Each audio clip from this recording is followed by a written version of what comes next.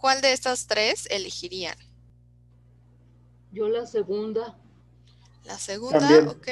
Todos la segunda, ok, suena un poco mejor, ok, ¿no? Entonces justo la buscamos y esa es la que más se ha utilizado, entonces optamos por esa, ¿no? Ayudarle un poquito a veces a los autores para que esas palabras cla- claves les sirvan en realidad para que su artículo se encuentre en las búsquedas, ¿no? Un traductor científico que es capaz de buscar información rápidamente y de encontrarla rápidamente. Si de- está mal escrito en español, también lo tenemos, o sea, lo corrijo en español y luego lo traduzco al inglés, pero nada más se traduciría bien escrito en inglés, ¿verdad? Ya si quedó mal escrito en español, ya es problema del cliente.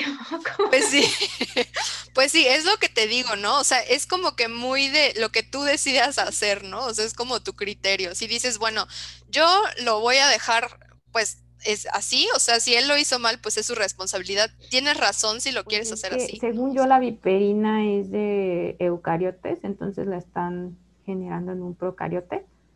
Y Ajá. eso es importante, creo yo. Ok, ok, muy bien. Entonces, eso sería importante de considerar. Todo es en inglés, entonces como que ya incluso pensamos en inglés y ponemos viperinas, ¿no? Pero bueno,